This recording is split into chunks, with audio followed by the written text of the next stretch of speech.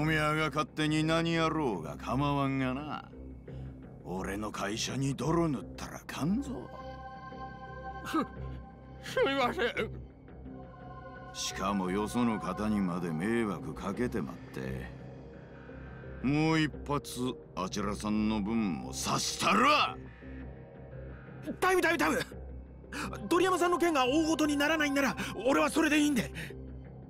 そうですかそんならしっかり詫びれないか。申し訳ございませんでした。